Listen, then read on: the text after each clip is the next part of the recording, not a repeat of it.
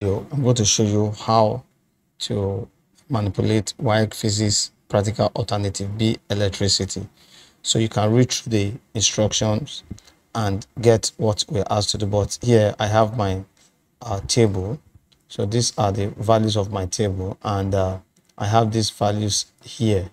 So in this uh, practical, these values that you have here represent the EMF of the variable DC supply. So if you read through the instruction, we have to obtain the value of V and A. So what I'm going to do, I'm going to use the internal resistance of this cell. So one of the single cell will have an internal resistance of 1.1.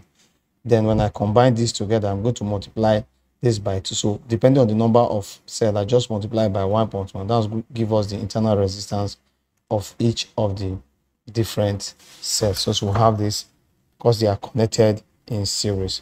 So the next thing I have to do, I'm going to use a value of EMF slightly smaller than this. So for this, I'm going to leverage on this uh, formula. I is equal to E over R plus R. R is this resistance here, and this small arrow are the internal resistance here. So I'm going to use values of EMF that are slightly less than this. So for the first EMF, I'm going to use 1.545 volts for the EMF then definitely what I'm going to have for this will then be multiple of this. So I multiply this by 2 to get the value for this. So that's 2.9. Then for the other one, I multiply by 3, then multiply by 4 and 5. So these are going to give me the values of the EMF. So the next thing I have to do for first to find the sum of R plus R. So I'm just add this to this, this to this, this to this, this to this, and this to this. So I get these values for R plus R. So these are the values that I get for R plus R for the various EMF. So for EMF 1.5, I get 3.1. For EMF 2.9, I get 4.2 and so on and so forth. So the next I have to do is to write this formula. So this formula becomes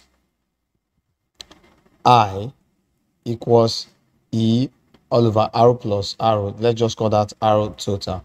So which are the values that we have here. So I'm going to plug all these values into this. Then I'll work out the values and record them here. So what I'm going to do now, the first part is going to be 1.45 divided by 3.1. That's going to give me 0.48. So I'm going to record 0.48 here. Then I'll then apply this formula now.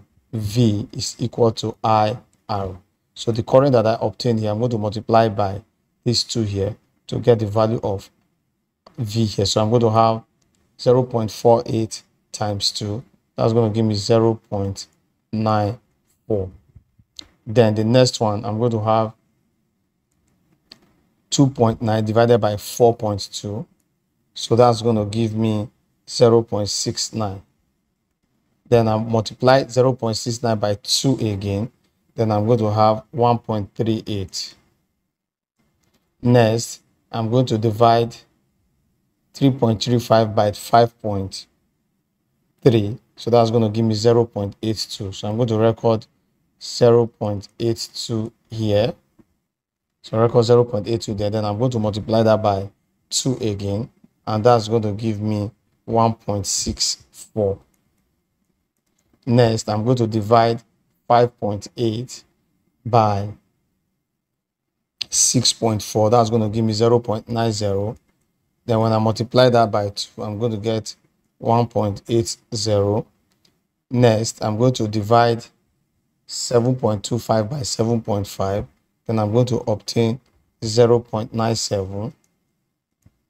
Then I'll multiply that by 2. I get 1.94. So these are the my values that I, I have I, I desire to obtain from here. So what you look at now is this.